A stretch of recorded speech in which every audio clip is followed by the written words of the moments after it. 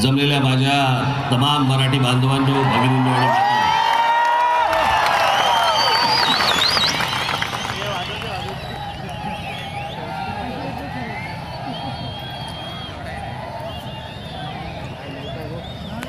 खरं तर छायाचित्रकार कुठे आहेत? ते कॅमेरेवाले ते नाही माझी जरा छायाचित्रकारांना विनंती आहे की व्यासपीठावरती येऊन हे समोर काय उभं राहिलेलं आहे ते एकदा त्यांनी तरी टिकावं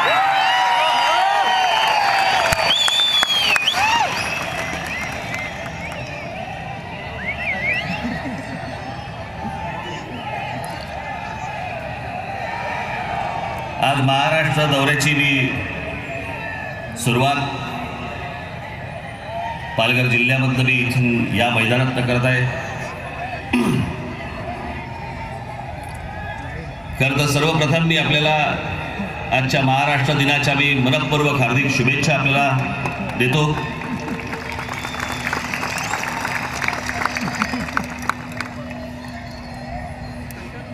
या माझ्या संपूर्ण दौऱ्यामध्ये आज जवळपास आता आज जो सुरू होईल तो टप्प्या टप्प्या टप्प्या टप्प्यामध्ये आहे दौरा.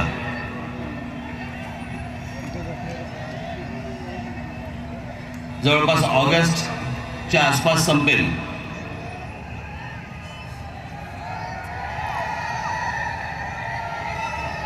आणि या संपूर्ण दौऱ्यामध्ये माझी ही एकमेव जाहीर सभा आहे. बाकीचा संपूर्ण माझा हा दौरा हा पक्ष बांधणी आणि संघटना बांधणीसाठीचा आहे.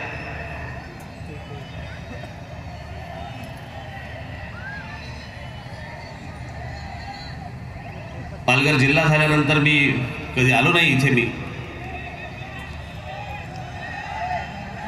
आणि महाराष्ट्राचा दौरा ठरवतानाच मी सुरुवातीला मी आमच्या लोकांना सांगितलं सगळ्या आपल्या लोकांना सांगितलं. मी म्हटलं मी एक सभा घेईन या दौऱ्याची आणि ती पालघरमध्ये घेईन म्हटलं मी. जिल्हा पालघर.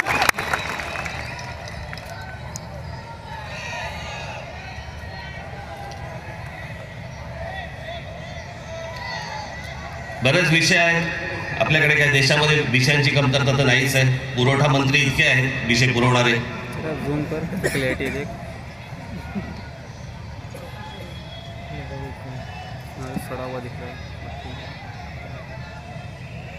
पण काही गोष्टी मला आपल्याशी मी इतकी वर्षे बोलत आलोच. पण काय परिस्थिती आता महाराष्ट्रामध्ये आहे? काय महाराष्ट्राची आता अवस्था आहे? हे मला असं वाटतं की या महाराष्ट्रातल्या प्रत्येक मराठी माणसाने नीट बारकाईने समजून घेतली पाहिजे. या राज ठाकरे काय ओरडून सांगतोय? हा राज ठाकरे काय बोलतोय नेमका?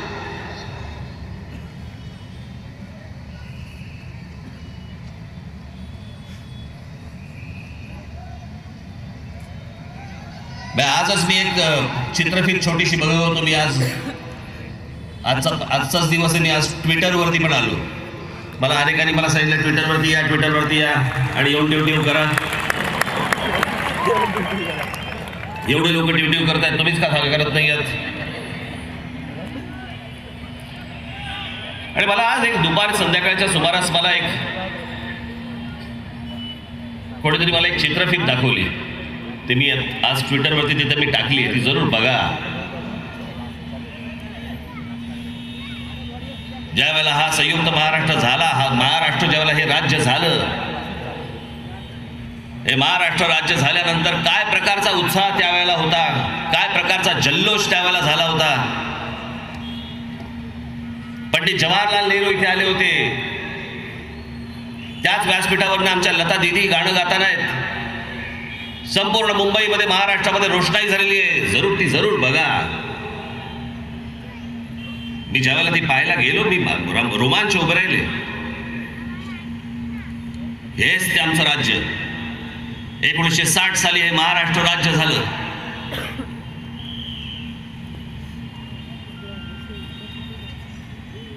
या राज्यातल्या लोकांनी काय स्वप्न पाहिली असतील? हे माझं राज्य कसं पुढे गेलं पाहिजे? काय काय केलं पाहिजे? आणि तेच आज राज्य महाराष्ट्र राज्य. त्याची काय अवस्था होऊन बसली आहे? त्याच्या चित्रफितीमध्ये मी बघत होतो. यशवंतराव चव्हाण त्यावेळेचे आपले मुख्यमंत्री महाराष्ट्राचे पहिले मुख्यमंत्री. संयुक्त महाराष्ट्र झाल्यानंतरचे. हे शिवनेरीवरती शिवरायांचा आणि जिजाऊ साहेबांचं पुतळ्याचं अनावरण करताना त्यावेळेला प्रतापगडावरती पण पुतळा महाराजांचा लागला. मी हे सगळं चित्र पाहत असताना मी सतत एक बघत होतो महाराजांना काय वाटत असेल आज? आज हे त्यांचं राज्य आज मराठी आज महाराष्ट्र आज आपण सांगतो की मी कोण आहे? मी मराठी आहे. मी कुठला आहे? मी महाराष्ट्रातला आहे. म्हणजे कुठचा? शिवरायांच्या भूमीतला.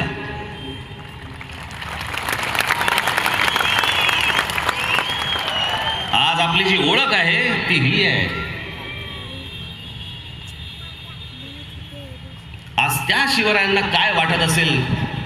त्यांच्या मनाला काय वेदना होत असतील?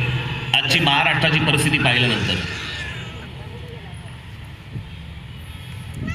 मी मध्यंतरी कुठेतरी एका सभेमध्ये बोलताना मी म्हटलं होतं. एक एक ऐतिहासिक संदर्भ मी दिला होता. मी मुद्दामून आज तुम्हाला सांगतोय.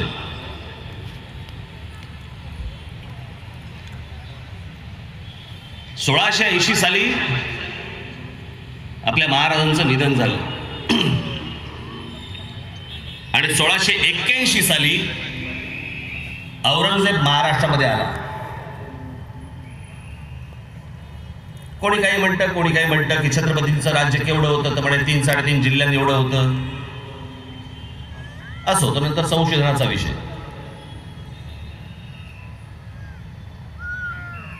औरंगजेबाचं राज्य केवढं होतं? संपूर्ण भारतभर पसरलं होतं. देशभर पसरलं होतं. देशाबाहेर पसरलं होतं. म्हणजे आजचा देश. एवढ्या मोठ्या प्रदेशाचा एक राजा आमच्या छत्रपतींना मारण्यासाठी म्हणून महाराष्ट्रामध्ये येतो ज्यांचं राज्य म्हटलं तर तीन साडेतीन जिल्हे चार जिल्हे.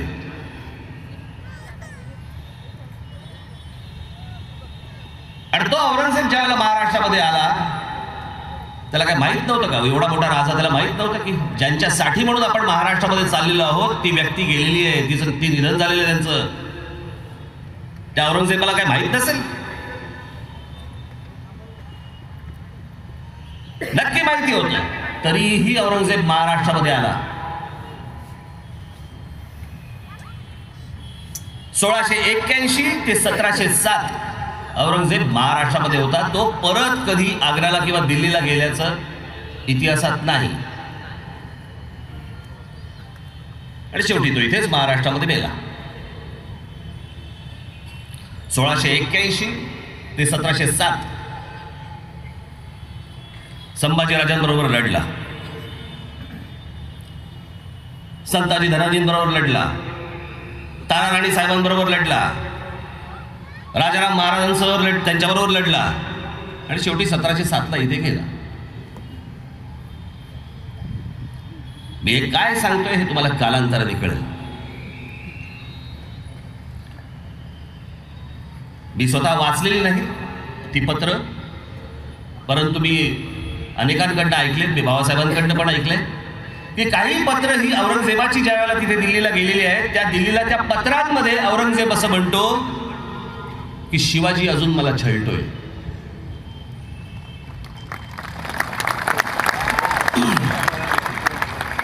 ते संभाजीराजे त्या रा- ताराराणी साहेब ते राजाराम महाराज ते संताजी धनाजी जेवढे जेवढे मावळून मावळे जे होते जे औरंगजेबाशी लढत होते त्याच्या विरोधात लढत होते ती जी प्रेरणा आहे त्या प्रेरणेला औरंगजेब शिवाजी म्हणतोय.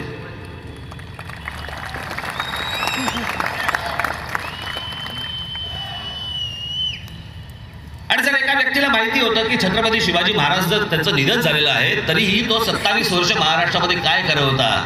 तो शिवाजी महाराजांना मारायला आलाच नव्हता. म्हणजे आलाच नव्हता म्हणजे ते झालंच होतं. महाराज गेलेच होते. तो शिवाजी नावाचा विचार मारायला आला होता. औरंगजेबाला ते शक्य झालं नाही. छत्रपती शिवाजी नावाचा जो विचार आहे तो विचार औरंगजेब मारू शकला नाही. पण आजची मला महाराष्ट्राची परिस्थिती पाहिल्यानंतर असं वाटतंय की आम्हीच तो विचार मारायला निघालो की काय?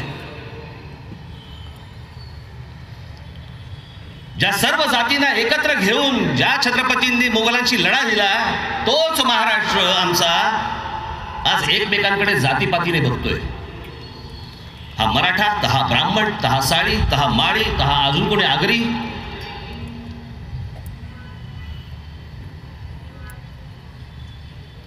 जे सर्व समाज एकत्र घेऊन महाराज मोगलांशी लढले तो समाज आज महाराष्ट्रामध्ये एकमेकांबरोबर लढतोय एकमेकांबरोबर शिव्या घालतोय.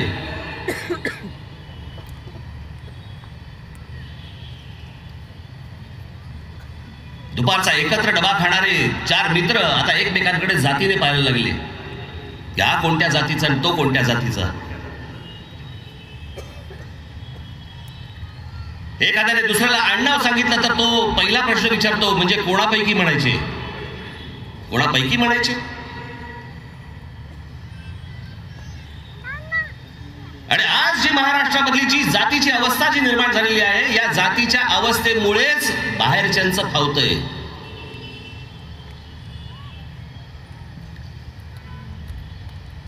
कारण आमचं कुठे लक्ष? आमचं एकमेकांना ओरबाडण्यात लक्ष. एकमेकांची डोकी फोडण्यात लक्ष. बाहेरून काय येतंय आपल्यावरती संकट हे आम्ही पाहायला तयार नाही आहोत. हे आमच्या लक्षातच येत नाहीये मला आज आजची ही महाराष्ट्राची परिस्थिती पाहिल्यानंतर मला पहिला नेहमी सगळं प्रश्न पडतो. काय वाटत असेल आमच्या छत्रपतींना आज? काय वेदना होत असतील त्यांना? या सर्वांना एकत्र घेऊन जेव्हा मी लढलो प्रत्येकामधला जे काही गुण होते ते गुण हेरले. आणि त्याला त्याला त्या त्या कामाला लावलं.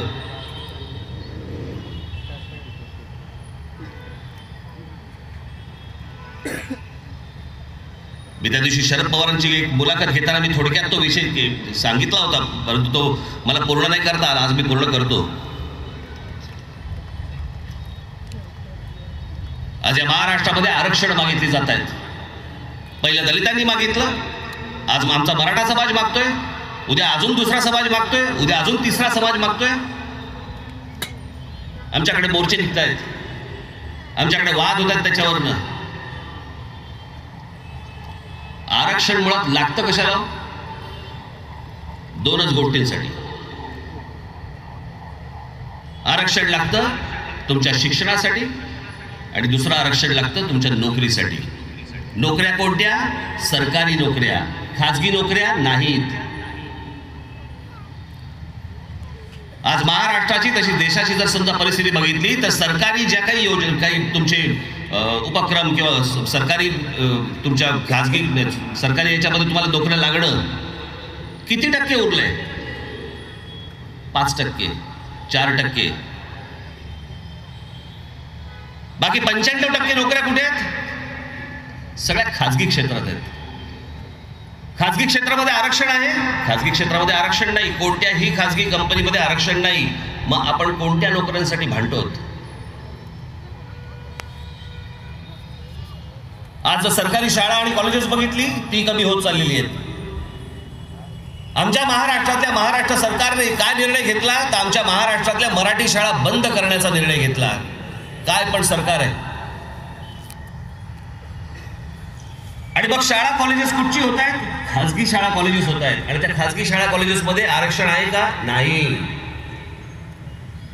मग आपण कोणतं आरक्षण मागतो? मग या सगळ्या आरक्षणाच्या नावाखाली आपण सगळ्यांकडे एकमेकांकडे जातीने बघतो.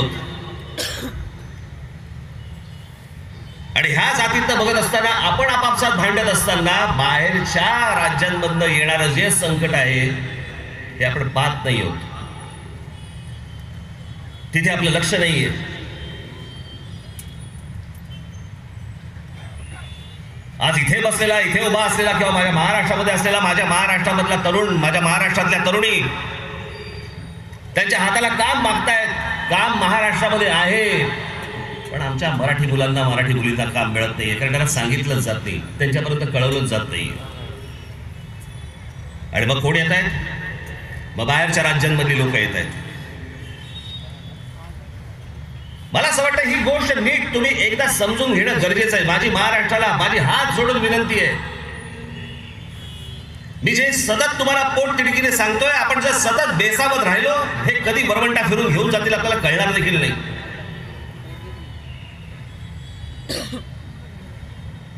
बिद्या दिवशी पाडव्याच्या सभेमध्ये इथे याच इथे वसईचा एक चाळी बांधल्या होत्या सगळ्या. सगळे परप्रांतात आले होते. सगळे युपी आणि बिहारमध्ये सगळी लोक होती. बरोबर आहे ना? मी बोलल्यानंतर मला असं वाटतं हा ह्याचा रिपोर्ट एबीपी माझाने पण केला होता. हे सगळं झाल्यानंतर त्याच्यानंतर कारवाई सुरू झाली. कारवाई सुरू झाली. कोणावर कारवाई सुरू झाली? ज्यांच्या बेसावतपणे मुळात ज्या जमिनी मराठी लोकांच्या होत्या त्या मराठी लोकांवरती कारवाई सुरू झाली. बांधलेल्यांवरती दो एक दोघांवरती. बाकीच्यांचं काय?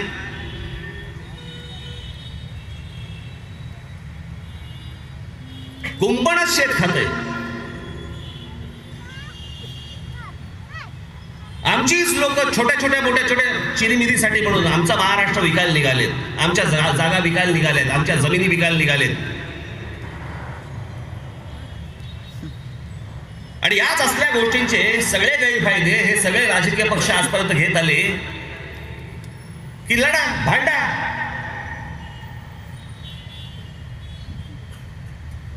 त्या जातीच्या फक्त नावावरती फक्त भांडत बसा बाकीचं आम्ही बघायला तयार आहोत.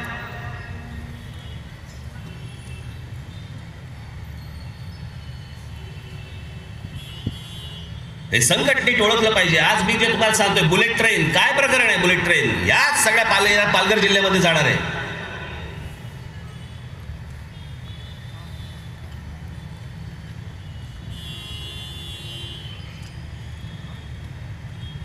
नरेंद्र मोदींना बुलेट ट्रेन बनवायला पहिलं सुचलं अहमदाबाद. म्हणून मी त्याला गुजरातचे पंतप्रधान म्हणतो. ते भारताचे पंतप्रधान नाही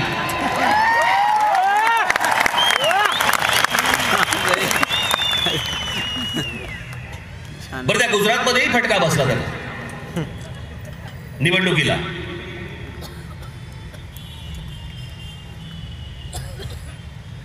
आमच्या देशाच्या पंतप्रधानाच्या मनामध्ये पहिल्यांदा ज्या राज्यामधनं तुम्ही आला त्या राज्याचा पहिला विचार येतो. बराज ठाकरे ज्या वेळेला मराठी माणसाचा महाराष्ट्रामध्ये विचार करतो त्यावेळेला तो संकुचित कसा काय ठरतो?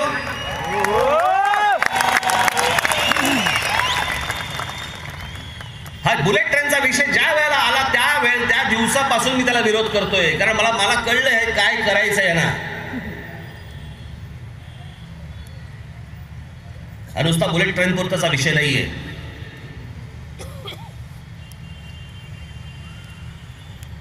मुंबई ते बडोदा एक्सप्रेस वे बांधतायत. भारतामध्ये दुसरी राज्य नाही? हा मुंबई ते बडोदा एक्सप्रेस वे ही बुलेट ट्रेन हे काय?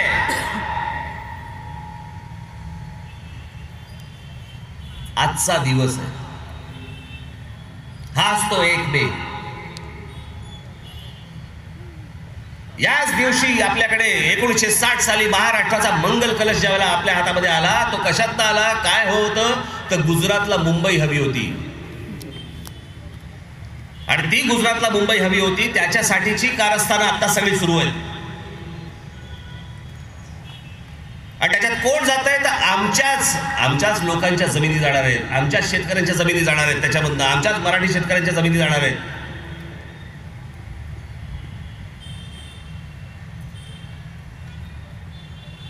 हेतू काय?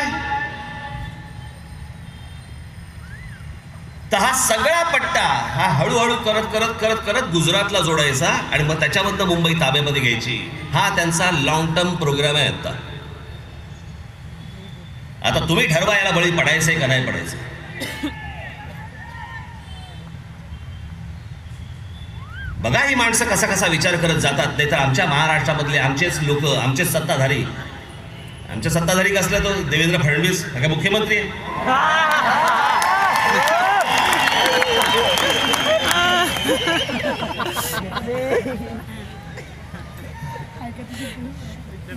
बसवलेला मुख्यमंत्री. स्वतःच्या ताकदीवरती आलेला मुख्यमंत्री नाही या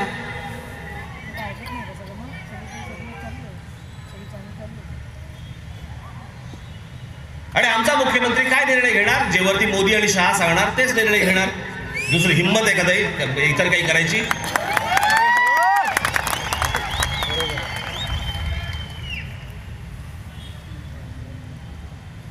वरून एखादी गोष्ट येते वरून फोन येतो.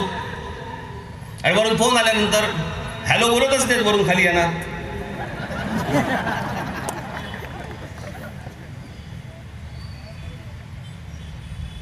फडणवीस फोन चालतात हॅलो तिथून हॅलो येत नाही. चोप. शांत बस.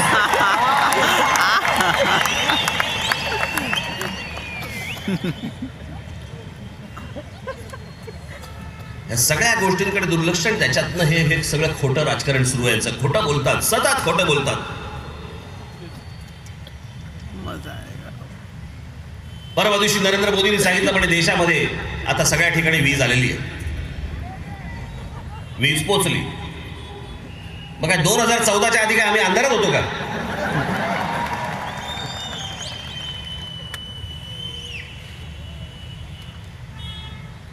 इतकं खोटं बोलतात इतक्या थापा मारतात. म्हणजे मी मला मगाशी येताना असं मी विचार करत होतो. मला असं वाटतं आता कोर्टामध्ये जी शपथ आहे ना ती पण आता बदलणार मोदी बोधा शंभर टक्के बदलणार बघा. मग काहीतरी आपला एक ग्रंथ येणार गीता बिता येणार. हां ठेवा हात. बोला. देवा शपथ खोटं सांगित खरं सांगणार नाही.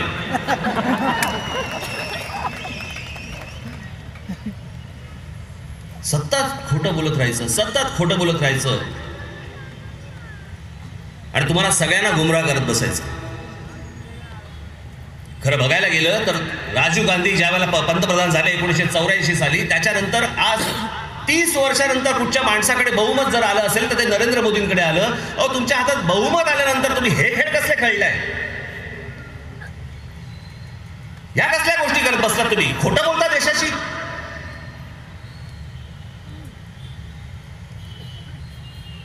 परवा पंतप्रधानांनी सांगितलं.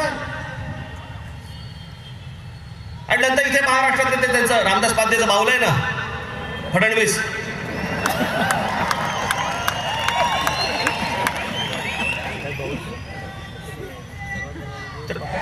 त्यांनी सांगितलं. काय तर म्हणे महाराष्ट्र हगनदारी मुक्त झाला.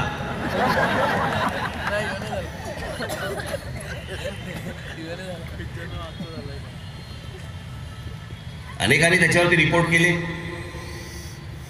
संडास बांधले म्हणे आम्ही. किती किती लाख बांधले? चार लाख संडास बांधले. मला सोडून दुसरं काही करतच नव्हते. अहो चार लाख संडास बांधले. सगळ्यात महत्वाची गोष्ट कोणती लागते हो? संडासात कोणती गोष्ट लागते महत्वाची? पाणी. पाणी. पाणी. बरोबर आहे? महाराष्ट्रात नाही पाणी. मग काय मातीने धुवायची काय?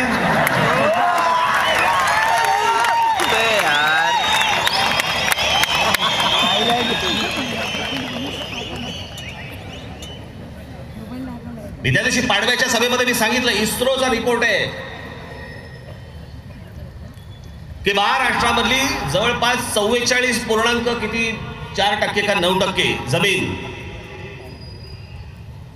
याचं वाळवंटीकरण होतंय. म्हणजे वाळवंट होण्याच्या दिशेने महाराष्ट्रातली एवढी जमीन चाललेली आहे. भारतामधलं एक नंबरचं राज्य आहे जिथे वाळवंट आहे म्हणजे राजस्थान. आणि भारतातलं दुसरं राज्य होत आहे वाळवंटीकरणासाठी ते आहे महाराष्ट्र. आणि तिथे आमचे मुख्यमंत्री सांगतायत की आम्ही एक लाख वीस हजार विहिरी बांधल्या. विहिरी? मी मागे म्हटलं ना रस्त्यावरचे खड्डे पण मोजत असणार आहे. गाडी थांबून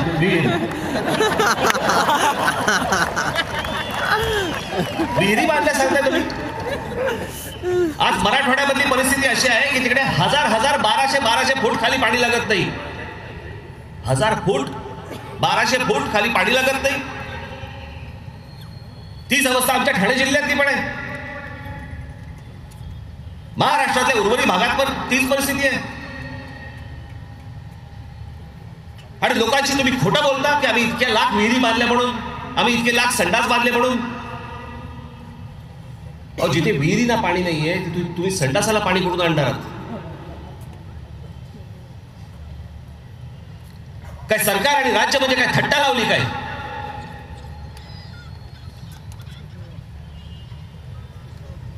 आणि ज्या वेळेला अडचणीचे विषय येतात त्यावेळेला नाही त्यावेळेला कोणी काय बोलणार नाही. त्यावेळेला आमचे पंतप्रधान गप्प. बंद.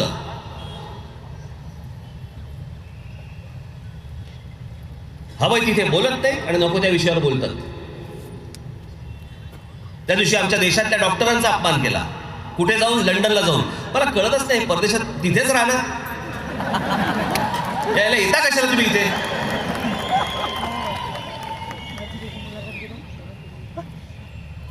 मला असं वाटतं आले ना घरी आले ना की तो आपला पृथ्वीचा गोल घेऊन बसत असणार. काय राहिलं?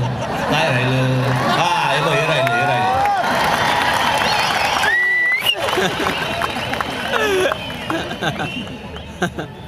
कुछ दिन में एटलेटिक भी जाएगा। बघा हो तेव्हा बाहेर.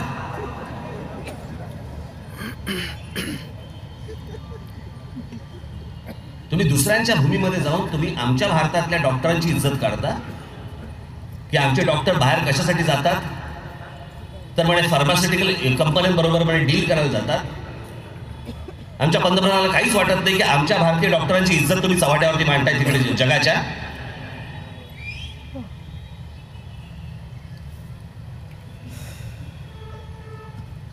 आणि राफेलच्या संदर्भात ज्यावेळेला बोलायची वेळ येते की आमची विमानं बाबा हे खरंच मी तुम्हाला सांगतोय ना हे काय प्रकारचे चोर आहेत ही सगळी मंडळी भाजपवाली हे एकदा सरळ समजून घ्या.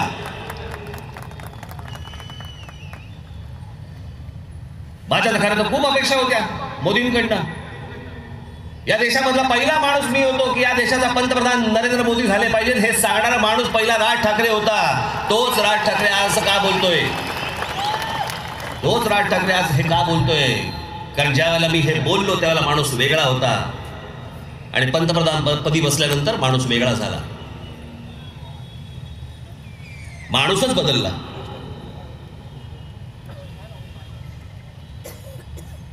मी जे पाहिले होते मोदी ते आजचे मोदी नाहीत. मी इतका माणूस घाणा पंतप्रधान मी आजपर्यंत भारताच्या इतिहासात पाहिलेलं नाही. कोणाशी बोलायचं नाही कोणाचं ऐकायचं नाही काही नाही. जे मनाला वाटेल ते करायचं. आज काय वाटलं? नोट बंद करायची? नोट बंद केली. परवा दिवशी पण सांगितलं. त्या दिवशी एटीएममध्ये पैसे मिळत नव्हते. लोकांना पैसेच मिळायचे बंद झाले. अचानक दोन हजारच्या नोटा गायब. भारत सरकारकडनं उत्तर काय आलं? लाजीरवाणं उत्तर. सरकार भारत सरकारकडनं उत्तर काय येतं? हो खरं आहे. नोटा जरा संपलेल्या आहेत. नवीन छापतो आहोत परंतु